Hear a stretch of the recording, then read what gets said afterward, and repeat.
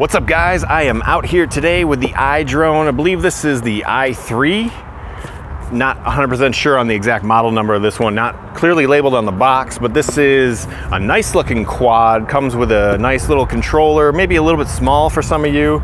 Sent to me courtesy of gearbest.com. Really nice starter quad, so why don't we get into the review and check it out.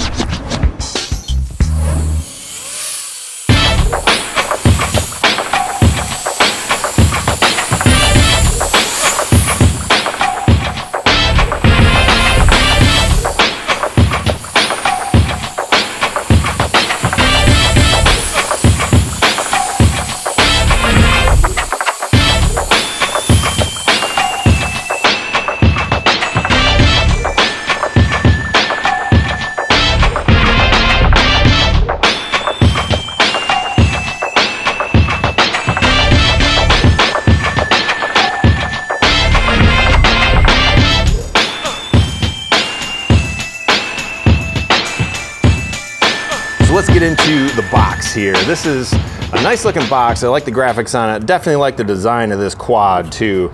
Really nice looking quad. Has your little LED eyes here and nice camera on the front. And of course it's got the ducted fans. So let's get in here and pretty basic. Once we get inside the box, you're gonna have your manual and it is a decent manual. Didn't have any real problems with it. Also didn't look at it super carefully. So you're greeted by your quad on top, covered by some plastic. And if we take it out, it is a very nice looking quad. I really like the design of this one. Camera right in front here. I did have a few issues with a little bit of vignetting on the upper corners of the camera. So I'm not sure if that's a design fault or something unique to my quad. It does come with a 350 milliamp hour 3.7 volt 25c one cell battery and it is a fairly common size. I had a few other batteries that would fit in here. And underneath here is going to be your micro sd card slot here.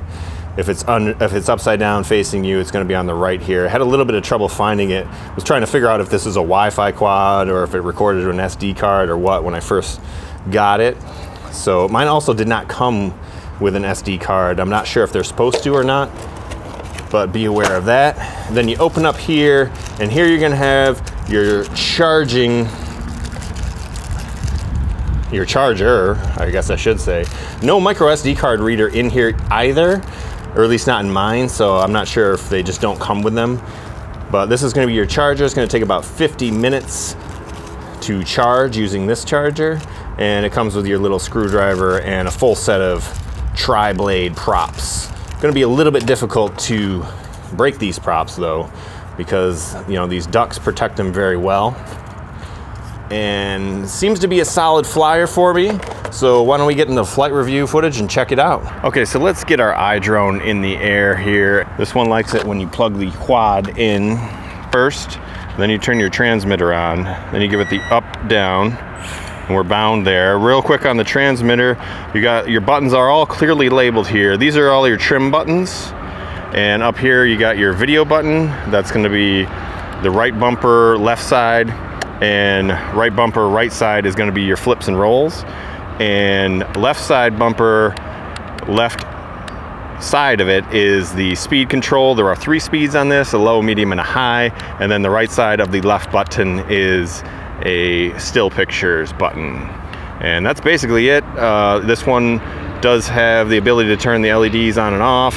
It just has these two eyeball-like LEDs, so I don't think you're really saving a whole lot of battery by turning them off. And then this is like your headless mode and um, return to home and stuff. I'm not gonna mess around with that. I don't recommend that you do. And you can also recalibrate the gyros in this one by going, holding this left bumper button down and whoops and both sticks down on the bottom like so I believe or was it out? Huh. I don't see any sort of indication. Anyway that's what it says in the manual. So so you got your slow Let's go up on our slow button and actually I'm gonna start my video. So I'm gonna hit this button here. And this is the slowest rate. We've got a little bit of a wind coming from this direction over here, so it's pushing it back that way. And on this low button, you know, I'm giving it full forward pitch here.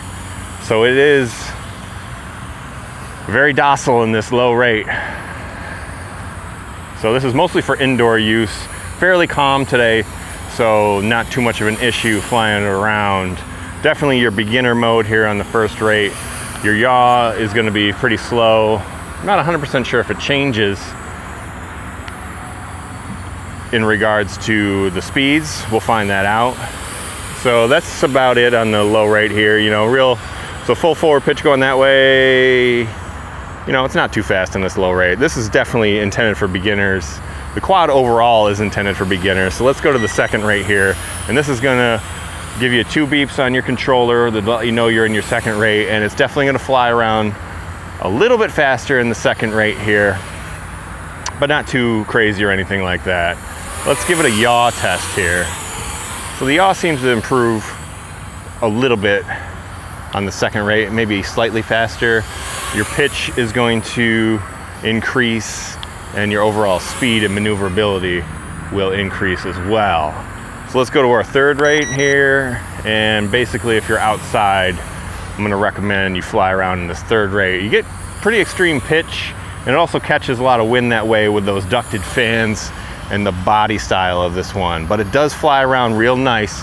This is a really nice beginner quad, has a really nice camera on it. Surprised at how nice the footage looks on this little camera. You get a little bit of jello wobble depending on how much wind and whatnot is around at any given time.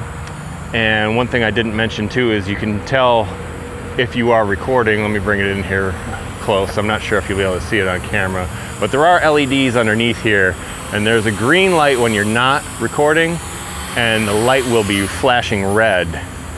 Let me just uh, show you that real quick if you can see it. This right here, there's a little flashing red button, or I'm sorry, flashing red LED to let you know you're recording.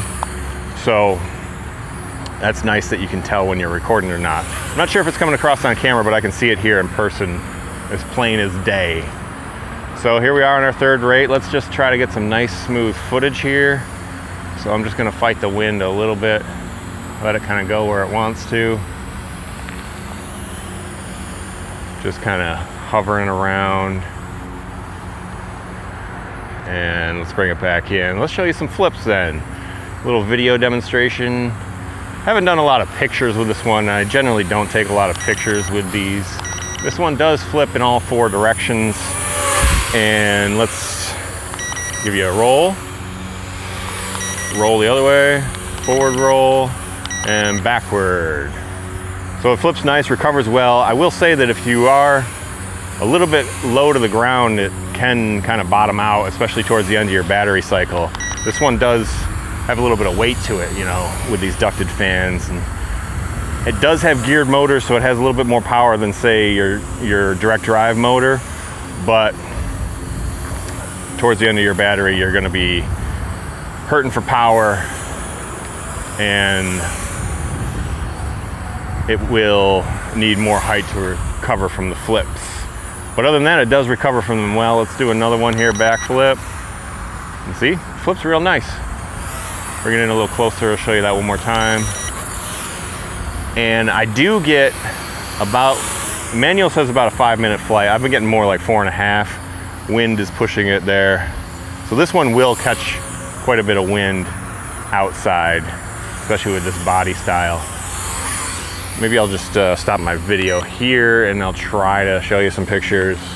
I don't recommend you ever really use these quads for photography, but you know, you might get a, a nice little aerial photo that you wouldn't be able to get otherwise. So I took like three photos there. Also the button doesn't seem to be beeping when I'm taking them, so I'm not 100% sure that took them, but we're recording video now. So as far as the flight characteristics go on this third rate, it's pretty maneuverable and a little acrobatic.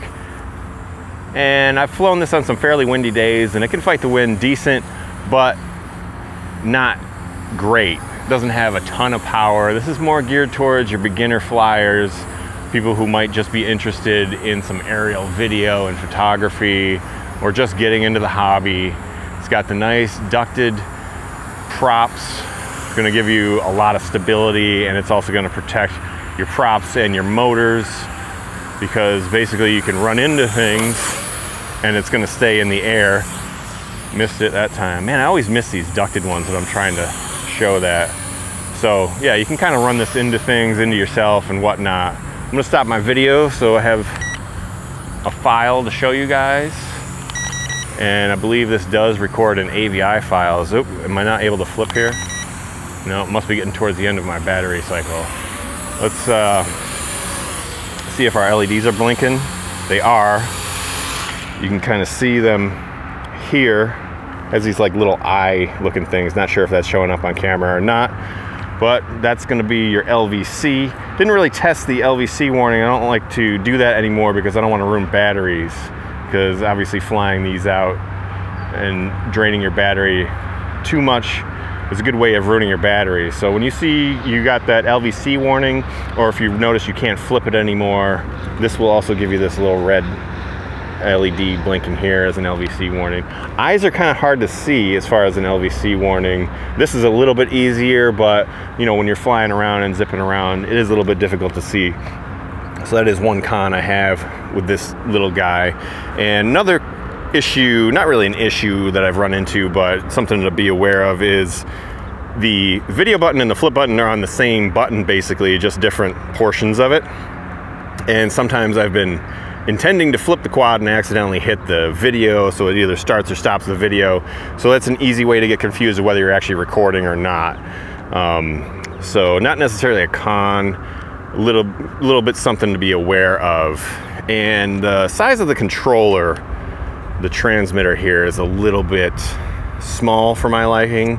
I have some fairly large hands and you know, I haven't had any issues with flying it around, but you know, I, would like a bigger controller, but it is nice to have a nice compact size for a small quad, small controller, very portable that way. And intended as a beginner quad here, so you're gonna be having children and inexperienced people flying, so probably won't be too much of an issue for some of you guys out there. So there you go. Here's my flight of the iDrone here. Like this one, it's a solid beginner quadcopter. Has the nice ducts that are gonna protect your motors and your props, and it flies very stable. Has a nice camera. Decent flight time, four and a half to five minutes. Not the greatest, but gets get yourself some more batteries. Fairly common battery size. I have a bunch that fit it myself. So if you're in the hobby, you probably have batteries that will fit this. If you're just getting into the hobby, probably want to purchase some extra batteries because that's going to enable you to fly more. And also, good indoor flyer with the ducts on it. That'll also help you to fly more. Hope you guys enjoyed the video with the iDrone here. And this was sent to me again, courtesy of GearBest.com. So I wanna say thanks to GearBest for supporting the channel. This one is definitely geared toward the beginner out there, possibly the slight intermediate flyer, but the advanced guys probably gonna wanna steer clear of this one. Pretty docile flyer. But if you're looking for a good indoor flyer for whatever reason, this one's pretty solid has a nice ducted fans and stable flyer. Has a nice camera on it too. So hope you guys enjoyed the video. If you did, give me a thumbs up. Hit me up in the comments below. Just say hi if you don't even have any questions or just say, you know, give me some feedback. I'm always looking for feedback for these videos.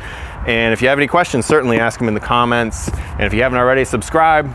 So until the next video, hope you guys enjoyed this one and happy flying. Try not to crash and burn. Yeah.